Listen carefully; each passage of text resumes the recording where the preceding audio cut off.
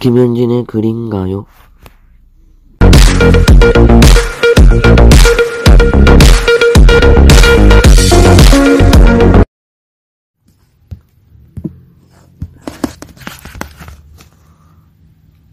(2021년 11월 10일 금요일) 스코너를 김현진의 글인가요? 안녕하세요 김현진입니다. 첫 곡은 에일리의 가르치지만 였습니다.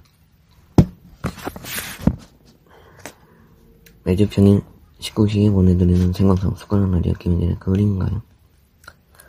제 그림과 케이팝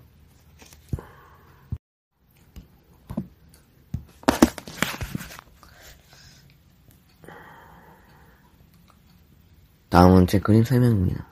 그림 보고 듣는 귀한 오늘 키워드는 제 그림 설명입니다. 오늘 보고 들으실 제 그림 제목은 강원도시 2입니다. 연인 캠프의 컴퓨터 그림이고요.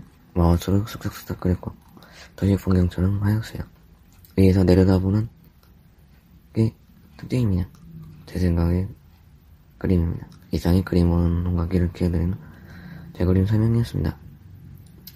아, 두 번째 곡은 석임검의 아는 여자의 데이브 브레이크 유키카의 이고요. 아, 다, 다음은 두 곡입니다. 따, 어, 땡큐 포유의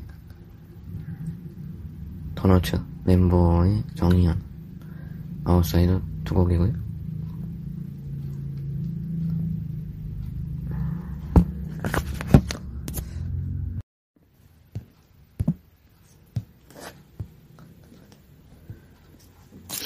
제 김인진의 그린가요는 네이버 TV와 고려 TV 그리고 팟캐스트 팟빵에서도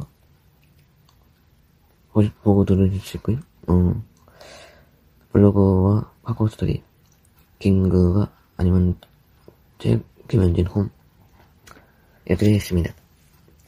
정치 여러분의 많은 정치 부탁드리고요.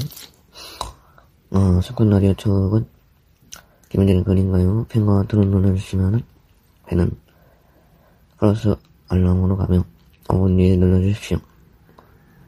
어, 녹음으로 들으시는 분들은 그냥 하트만 누르시고 들어주시면 고맙겠습니다.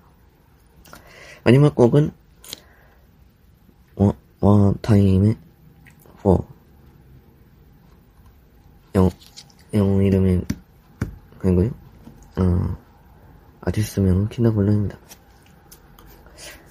김현진의 그림가였고 저는 토요일날 이 시간에 뵙지요. 고맙습니다. 김현진의 그림가였습니다.